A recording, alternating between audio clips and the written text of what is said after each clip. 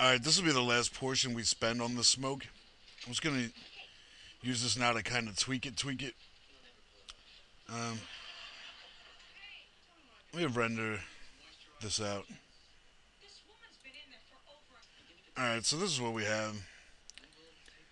It took a while to render, especially with like no self shadowing and stuff like that, so we're gonna play with it a little bit. Select it. I'm gonna change it from a, a ray marcher to an octane shader, and I'm gonna zoom in a bit.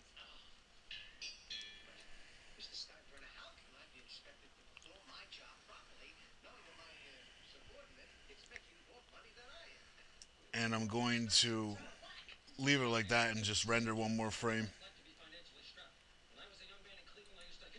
Alright, this is more like it. Um, it's it's a little dark, or I guess not dark, but thick. So I'm gonna change this to 0.01 and re-render.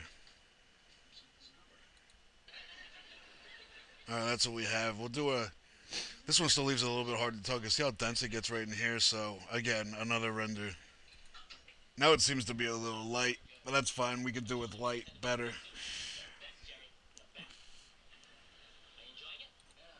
I'll just uh, move that down a bit. I keep trying to tell you everything's a tweak, and indeed it is.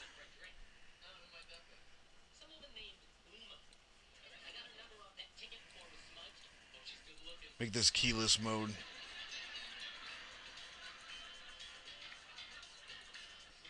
Alright, let's keep going with this. I turn the opacity back up to 0.1. And basically what we're doing now is just trying to figure out what we do and don't like about our current setup. And Seinfeld might be a little loud in the background. I apologize. I'm sure you can still hear me. Standard. Now, the light I have selected is Ray Trace. Turn. Make this a uh, afterburn shadow map.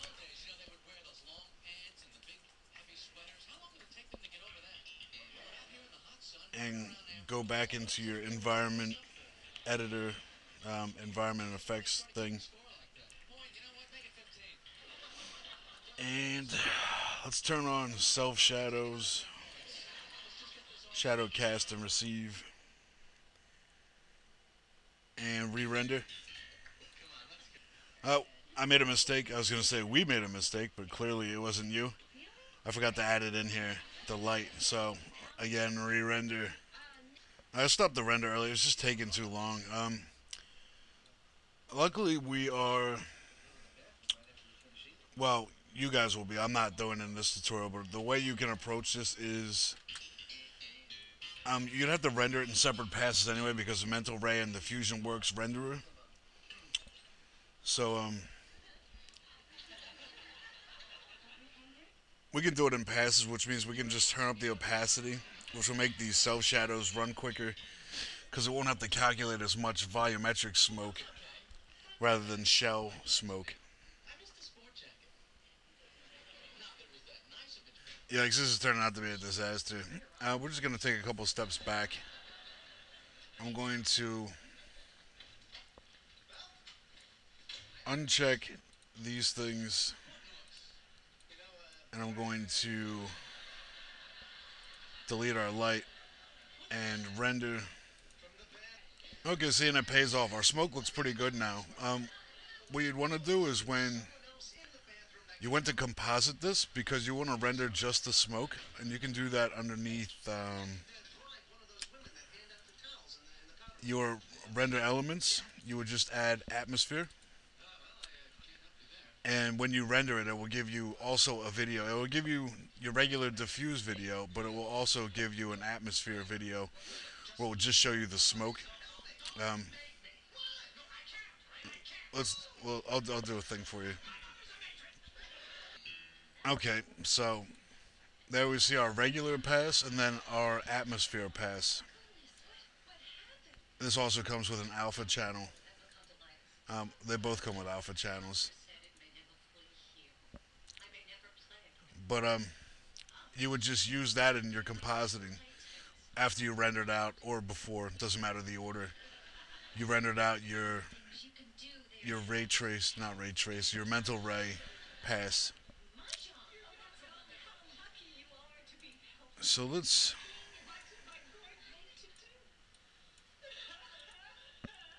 let's turn mental ray back on and let's render. As you can see, um, it didn't render our smoke because again, um, mental ray is not compatible with the Afterworks uh, FusionWorks renderer.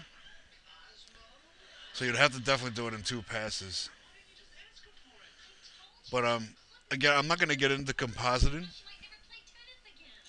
but that's exactly how you would do it, and that is, I think, the end of this tutorial. Then turn out the camera. Remember to uh, save your work, save.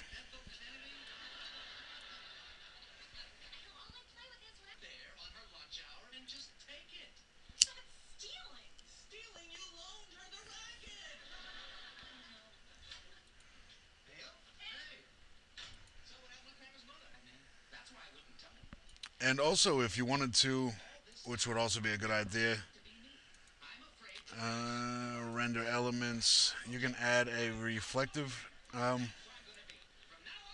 a reflection, whatever. I'll render this one last time for you so we can see the result of that also.